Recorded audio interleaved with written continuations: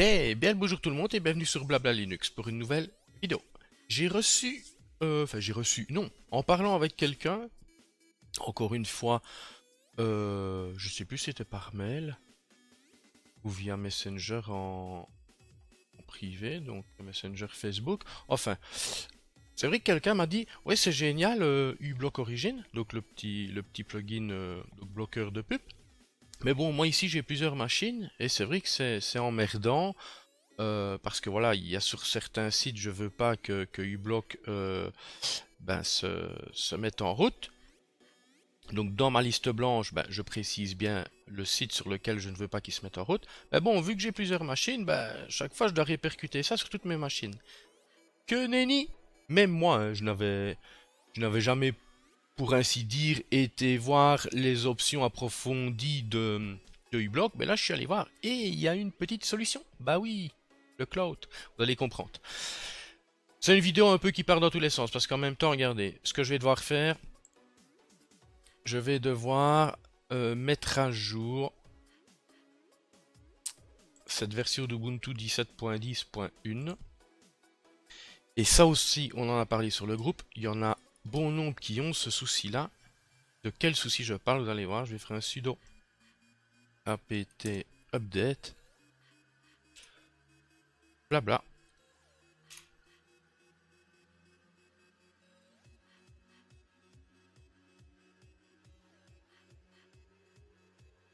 Voilà.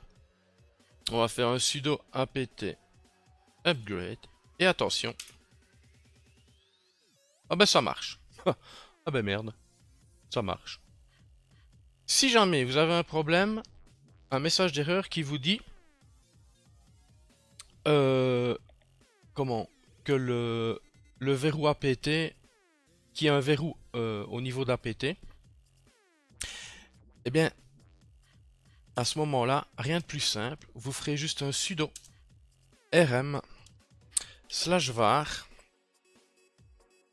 slash lib slash dpkg slash look. Look, verrouillage. Hop, voilà. Bah ici, je n'ai pas eu ce message d'erreur là. Si vous l'avez fait, vous faites juste ça. Ensuite, bon bah je lance la mise à jour. Oui. Voilà. Et on patiente, on patiente. Je préfère partir d'une base à jour. J'aurais dû le faire avant. On précise, me rappeler plus tard.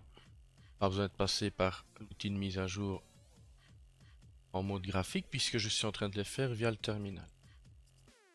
Comme ça, je vais me retrouver avec un Firefox à jour et je vais même aller plus loin. Je vais vous montrer ça également dans, dans Chromium. Pas Chrome, hein. il y en a beaucoup qui confondent. Ah, j'utilise Chrome et on voit l'icône de Chromium. C'est différent, hein. c'est le pendant libre de, de Chrome. Je sais pas si je dois mettre en pause la vidéo ou pas. Est-ce que ça va aller vite ou pas? Eh bien voilà. C'est terminé. Toutes les mises à jour sont effectuées. Alors, ce que je vais faire, je vais démarrer Firefox. Je sais même pas en quelle version je vais me retrouver, mais ça peu importe.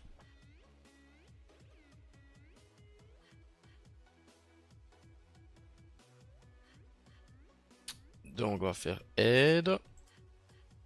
À propos de Firefox, Firefox Quantum 59.0.2.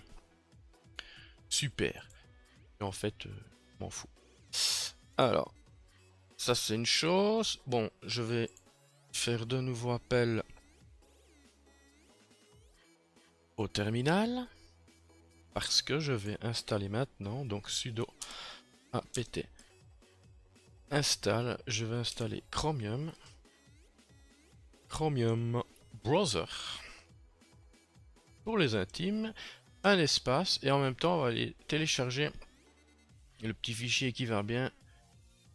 Euh, le fichier de, de Language Pack. Donc, Chromium.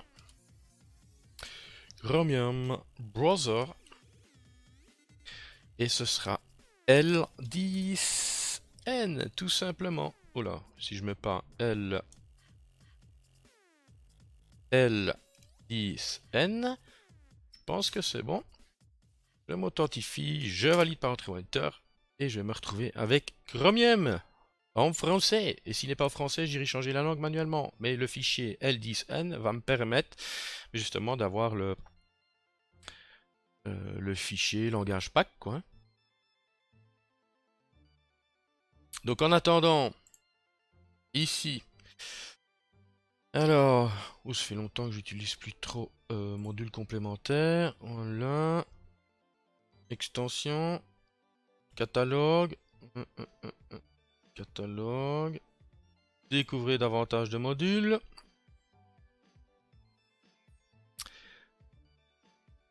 Alors, si je fais uBlock origine, hein. Voilà. Ajouter à Firefox. Ajouter. Voilà, il est là. Ok. Cool. C'est fait. Et alors de l'autre côté, ça se passe comment? Encore fini? Alors, je retourne à Firefox, clic droit. Non, euh, clic droit, euh, personnaliser. Non, pas demander, j'ai plus l'habitude, donc ça va être Hop là. Euh, module complémentaire. Extension. Préférence. Regardez. Activer le stockage des paramètres dans le nuage. Donc, c'est bien parce que vous allez comprendre. Je pense, mais on va tester, que ça stocke les paramètres, mais alors également tout ce qui est donc paramètres. Euh, hop là. Faire ça. Cloud Storage. Alors. Voilà. Donc, le, la fonction de, stockage dans le cloud, dans uBlock Origin, est uniquement supportée si le navigateur utilise la fonctionnalité de synchronisation. Exemple Firefox Sync, ici pour Firefox. Et euh, alors pour ce qui est de Chrome Chromium, ben, il faut euh, connecter son navigateur euh, avec son compte Google. Voilà. Mais alors ce qu'on va voir, donc ça c'est sûr les paramètres vont être stockés dans le cloud. Mais je pense également tout ce qui se trouvera dans dans, mon filtrage dynamique, liste blanche, je pense. Je pense, je pense. D'ailleurs, regardez, si je vais dans paramètres, euh...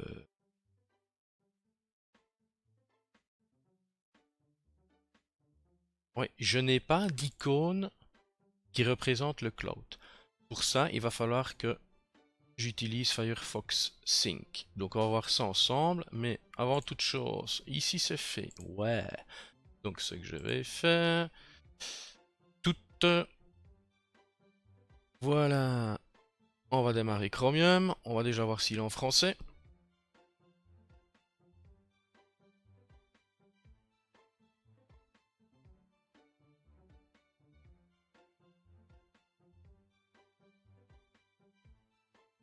C'est un peu lourd à démarrer.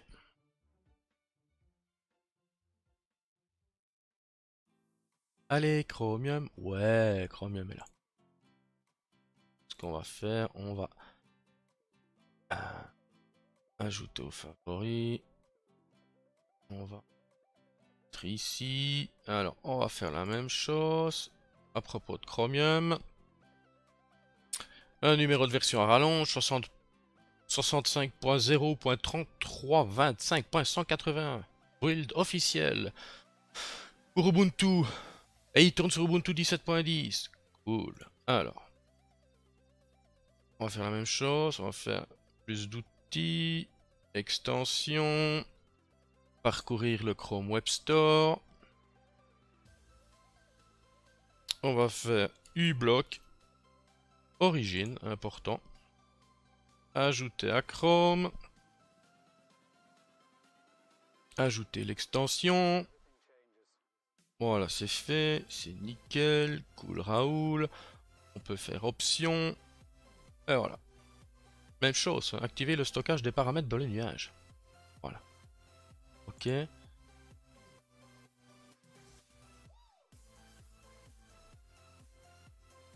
Voilà, c'est mes filtres plutôt. Mes filtres. Et on ne voit pas l'icône du cloud qui apparaît. Mais on va le faire apparaître. Donc on va commencer par Firefox. Donc ce que je vais faire pour Firefox. Alors, se connecter à Sync. Voilà, se connecter. Je vais pas créer un compte parce que j'en ai déjà un. Maintenant, alors là, je me rappelle vraiment plus.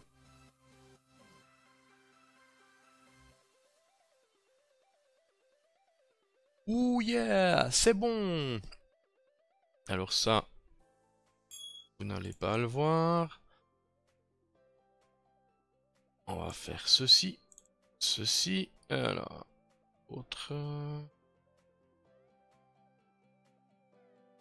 Appuyer sur confirmer, on va voir.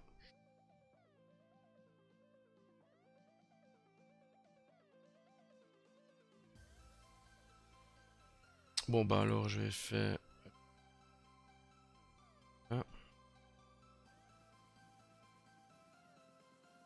Yeah, c'est bon bah, Ici en tout cas il me dit que c'est bon.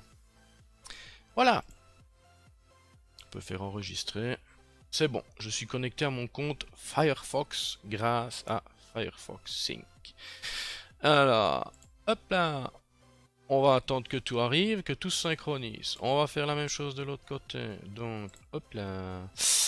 Connexion à Chromium.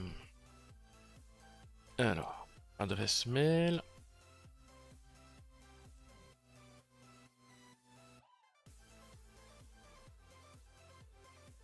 Voilà. Suivant. Ah. Bah oui, si je me trompe, ça serait aller.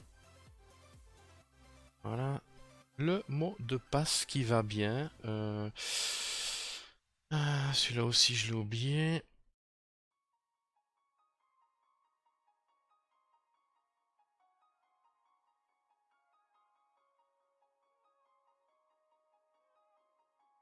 Alors, un petit message sur le GSM. On fait oui. Et normalement, c'est bon. Ok, mais tout est chiffré. On saisit la passe-phrase. Voilà, c'est cool. C'est cool. Ce qu'on va faire, on va attendre que tout arrive. Même chose ici. Ça ne devrait plus tarder. Donc, ah ah, enfin ça arrive. Et du côté de Firefox, ça arrive.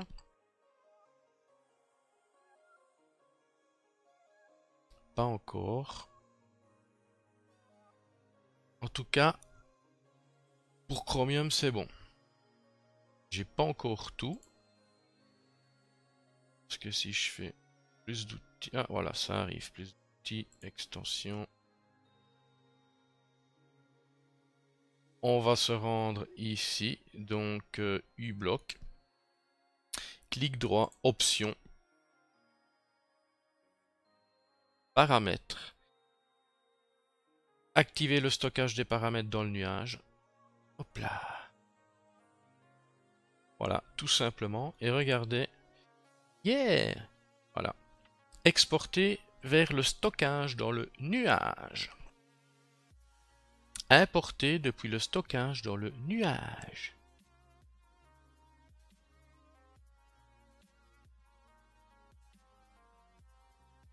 Pas mal, hein Liste de filtres. Et à partir du moment où on, on s'est bien connecté à son compte euh, Google, pour euh, synchroniser l'ensemble de son navigateur, que ce soit le contenu, les extensions, et qu'on a bien activé dans uBlock cette petite case-là, activer le stockage des paramètres dans le nuage, et eh bien dans les autres catégories qui concernent les filtres, regardez, on a une icône qui représente le nuage, dans liste de filtres, mes filtres, mon filtrage dynamique, liste blanche, vous voyez, mais moi j'ai rien, mais bon, si vous avez, tant mieux. Donc en fait, tout est synchronisé, les paramètres et tout ce qui concerne, les filtres. Vous voyez? Et alors de l'autre côté, euh, bah, c'est le même. Hein. Je vais faire clic droit. Non, je vais aller par là. On va faire euh, préférences. J'ai plus l'habitude avec Firefox. On va faire module complémentaire, extension, préférences, activer le stockage des paramètres dans le nuage. Et à partir de là, voilà.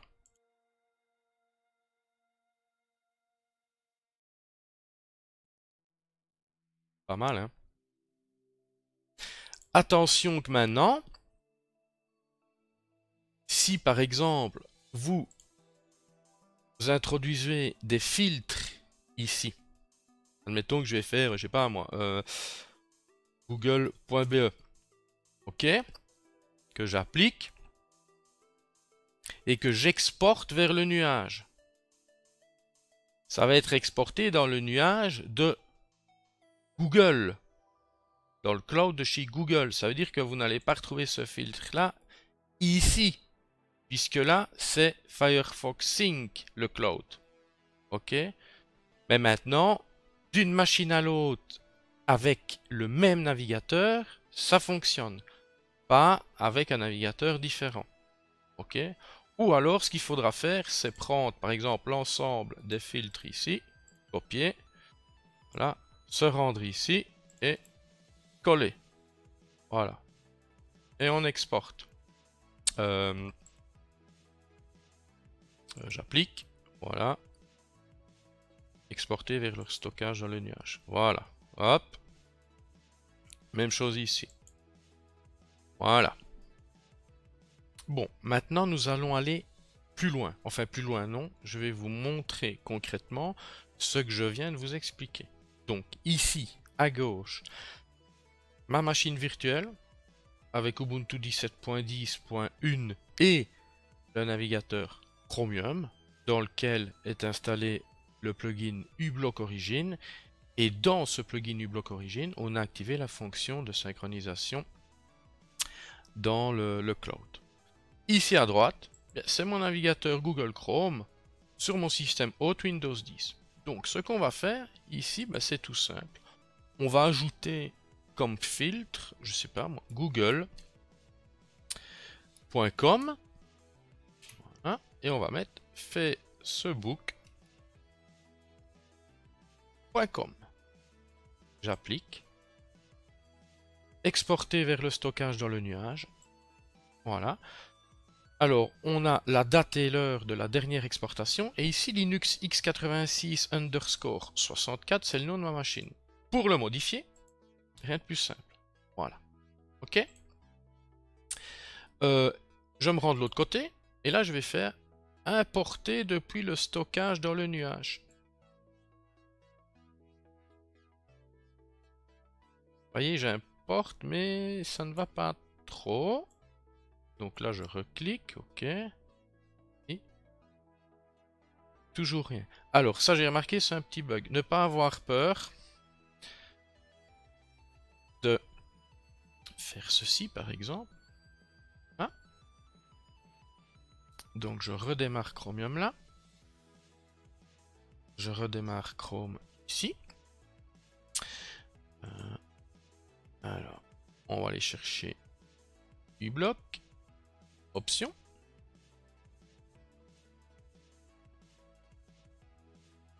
Voilà mes filtres. Et alors ici, même chose. Hein. Clic droit, option. Toujours rien. Bon, ben importe hein, quand même. Ah ben voilà, c'est bon. Vous voyez donc, pas avoir peur peut-être euh, de redémarrer son navigateur. On a vu c'est un petit bug, mais est-ce que est-ce j'ai l'impression que la synchronisation euh, voilà, n'est pas immédiate. Il y a un petit temps de latence, même quand ça fonctionne, il y a un petit temps de latence. Hein. faut que le tout se synchronise, même s'il y a peu d'entrée. Et parfois, ben voilà, il faut redémarrer euh, son navigateur. Voilà. Sinon, ça fonctionne, c'est pas mal. Surtout pour ceux qui ont une liste phénoménale de, de filtres, ben c'est chouette. Voilà. Sur ce, moi je vous dis bye bye, j'espère que cette courte vidéo vous aura plu. C'était Annie pour Blabla Linux. Allez, ciao ciao